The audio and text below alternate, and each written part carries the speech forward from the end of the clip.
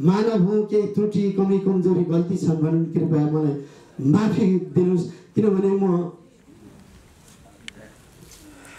छ वर्षदेखि आफ्नो पेसा घर परिवार सानी छोरी सबै चिज छोडेर बिहान चार बजेदेखि राति एघार बजीसम्म म देशका लागि खटिरहेको छु। त्यो कला क्षेत्रको प्रतिनिधित्व भूकम्प पीडितका लागि काम गऱ्यौँ बाढी पीडितका लागि काम गऱ्यौँ।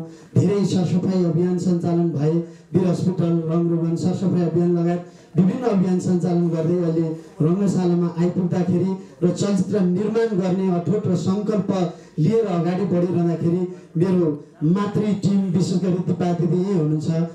दिपक दाई जितु दाई शिवरी दाई सम्पूर्णलाई म सम्झिन चाहन्छु। मैले जे सिकेँ चलचित्रमा उहाँहरूबाटै सिकेको हो छ। वडा नम्बर छ हुँदै छक्का पन्जाको टिमसँग पछि म चाहेर पनि संलग्न हुन पाइनँ टिममा आबद्ध हुन पाइनँ तर मैले सिकेँ त्यहीबाट। त्यही सिकेको चिजलाई चाहिँ सेन्टी भाइ यसमा प्रस्तुत गर्छु भन्ने एउटा मेरो चाहिँ जोस थियो। त्यही कारणले केही समय क्लबमा पनि गएको खासै केही नयाँ केही गर्न सकिन्छ कि भन्ने हिसाबमा। तर पछि रङ्गशालाको ठुल छुट्टै एउटा जिम्मेवारी थियो। संस्थागत जिम्मेवारी भन्ने चिज बडा गाह्रो र एउटा कठिन हुँदो रहेछ। सबैको सुझाव सल्लाहलाई मान्दै मनन गर्दै अगाडि बढ्नुपर्ने रहेछ। सुरुमा हामीले धुर्म सुन्तलीको रूपमा पहिलो बस्ती बनाएका थियौँ। किरानचोर बस्ती बनाउँदा फाउन्डेसनको रूपमा बन्यो र फाउन्डेसनकै रूपमा तिनवटा बस्ती बनेपछि संस्थागत हिसाबमा अझै सक्रिय भएर अगाडि बढ्न हामीलाई धेरैले सुझाव दिनुभयो र हाम्रो यात्रा रङ्गशालासम्म पुग्यो र रङ्गशालाकै काममा छायाङ्कन हुनुभन्दा एक दिन अगाडि म आएको थिएँ। छायाङ्कन पश्चात फेरि म दस दिन चितवनमै थिएँ।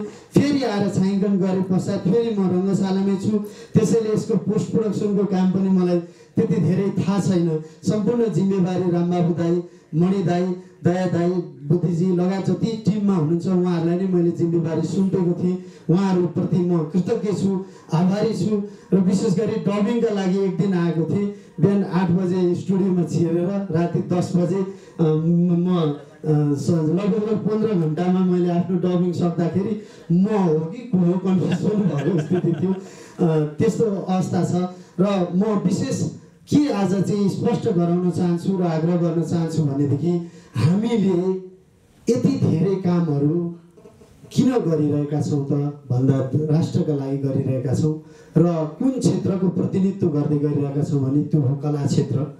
कला क्षेत्रलाई सम्मानित र मर्यादित बनाउनका लागि कला क्षेत्रभित्रका पीडाहरूलाई केही हदसम्म मलमपट्टि लाउनका लागि आज हामी यति धेरै कलाकर्मीहरू छौँ चलचित्रकर्मीहरू छौँ यति धेरै एउटै परिवारका सदस्य छौँ तर हाम्रो एउटा भवन छैन।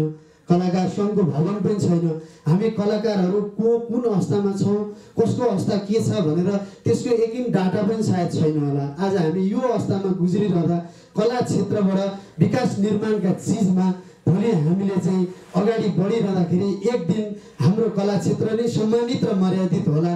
कला क्षेत्रको आवाज बुलन्द राख्न सकिएला।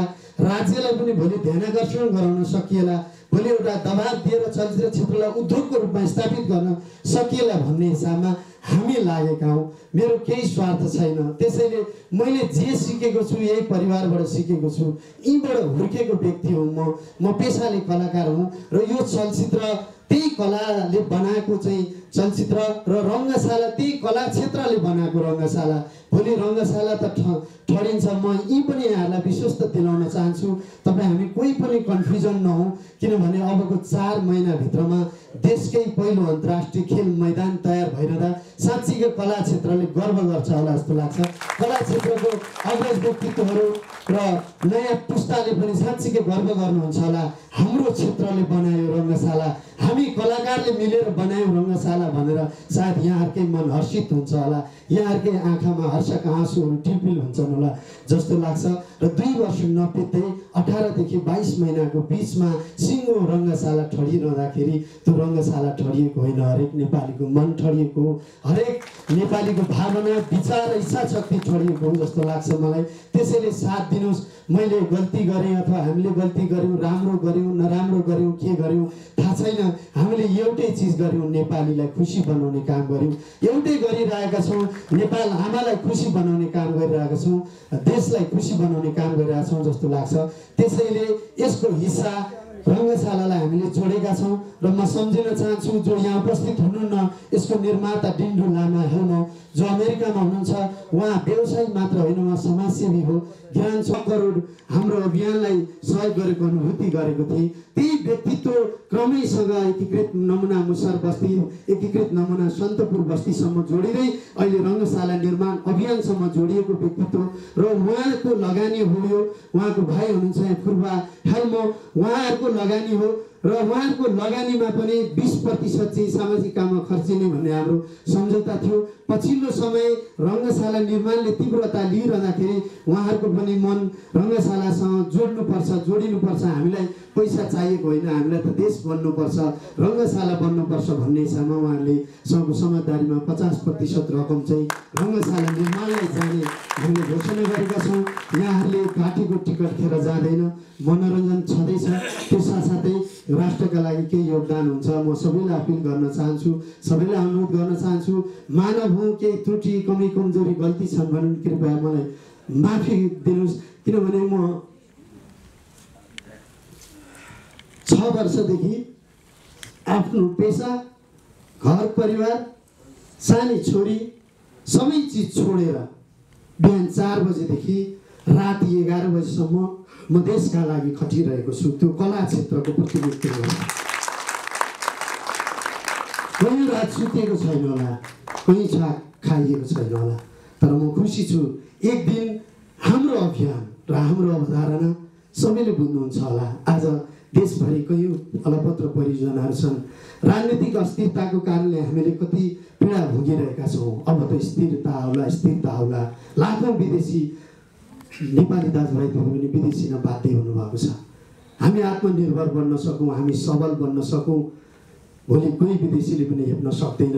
आज सीमा मिचिरहेका कुराहरू हामी सबै नतमस्तक भएर सुनिरहेका छौँ। सामाजिक सञ्जाल रङ्गाउँछौँ तर हाम्रो तागत पुगिरहेको छैन। एक दिन तिनै विदेशी सामु भोलि हामी शिर ठाडो बनाएर हिँड्ने दिन आओस् आज लाखौँ नेपाली दाजुभाइ दिदीबहिनी विदेशी न बाध्य हुनुहुन्छ श्रम बेच्न बाध्य हुन्छ रगत पसिना बगाइरहनु भएको छ। एक दिन त्यस्तो दिन आओस् हामी सबल बनौँ हामी आत्मनिर्भर बनौँ र तिनै विदेशीहरूलाई हामीले काममा लाउन सकौँ हामी कमान्डर भएर चाहिँ आज जसरी विदेशिनु परेको छ हाम्रो नेपाली दाजुभाइ दिदीबहिनी त्यसरी नै भोलिका दिनमा विदेशीहरूलाई स्वागत गर्न सकौँ भन्ने हिसाबमा र यही उद्देश्यका साथ म खटिरहेको पहिला आत्मनिर्भर बनौँ सबल बनौँ कसैले हेप्दैन तित्दैन सुरुवात आफैबाट हुनुपर्छ आजैबाट हुनुपर्छ भनेर यत्रो विशाल अभियान लाग्छ महत्त्वकाङ्क्षी लाग्छ गाह्रो कठिन सरकारले गर्ने काम हो। यदि सरकारले गरिदिएको भए पछिल्लो समयमा हामी सामाजिक अभियन्ता भएर जन्मिनु पर्दैन थियो होला। हामीलाई हाम्रै क्षेत्र प्यारो थियो। कलाकारिता क्षेत्रै प्यारो थियो। घुमिन्थ्यो रमिन्थ्यो रमाइन्थ्यो। कति आनन्द थियो जहाँ जाँदा पनि हामी बुढा र बुढी सँगै थियौँ सँगै रमाउँदै हिँडेका थियौँ। आज बुढी कहाँ छ म कहाँ छु अत्तु पत्तो छैन। मेरो बुवा आमा कहाँ हुनुहुन्छ? मेरो परिवार कहाँ छ मलाई थाहा छैन। के बार के दिन के गते पनि म थाहा पाउँदिनँ। म एउटै सोध्छु सुत्दा पनि रङ्गशाला उठ्दा पनि रङ्गशाला। एउटै मनमा राख्छु राष्ट्रभक्ति भावना सबैमा हो सबैमा छ र एउटा स्वतन्त्र अभियानलाई तपाईँहरूले अपनत्व ग्रहण गरिदिनुहोस्। आजकै दिनबाट मेरा कमजोरी छन् भने म माफी चाहन्छु। यो अभियान भोलिका दिनमा देशको अभियान हो यो अभियान राष्ट्रको अभियान हो यो अभियान कला क्षेत्रको अभियान हो। सबैले अपनत्व ग्रहण गरिदिन अनुरोध गर्दै बिदा हुन्छु धन्यवाद। सबैको लागि सोच्ने सबैको खुसीका लागि सोच्ने धुर्मु सुन्दरीको यो चलचित्र निर्माणको पनि अभियान हो। जसरी बस्ती निर्माणको अभियान रङ्गशाला। मैले चाहिँ